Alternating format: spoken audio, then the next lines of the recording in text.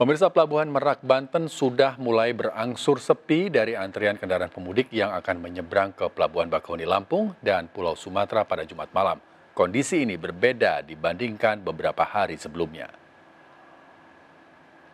Pemirsa satu hari menjelang Hari Raya Idul Fitri, situasi Merak Banten ini sudah mulai berangsur sepi, sudah tidak nampak terlihat kepadatan serta penumpukan kendaraan pemudik yang akan melakukan penyeberangan menuju Pelabuhan Bakauheni Lampung serta Pulau Sumatera. Berdasarkan pantauan kami sejak pagi hingga dengan malam hari ini, uh, memang sudah tidak terlihat antrian serta kepadatan uh, pemudik, terutama di pintu masuk uh, dermaga eksekutif ini yang memang jika dibandingkan dengan beberapa hari lalu, dermaga eksekutif ini sering dipadati oleh kendaraan pemudik yang akan melakukan penyeberangan dan kendaraan yang masuk ke kapal.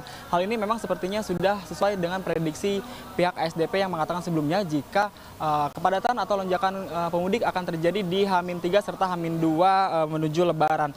Situasi serta kondisi uh, di Pelabuhan Merak saat ini memang uh, terlihat berbeda jika dibandingkan dengan tahun lalu, di mana Pelabuhan Merak ini tidak terlalu mengalami kepadatan serta uh, kepadatan serta antrian yang berlebihan begitu. Terlebih untuk kendaraan sepeda motor serta truk-truk pengangkut logistik.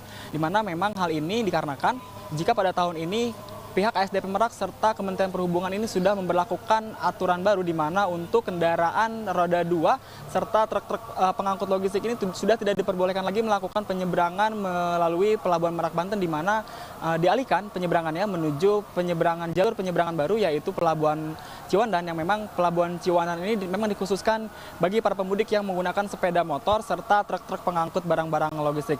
Dari Pelabuhan Merak Banten, Muharlin Rama Ramadan Ainis melaporkan.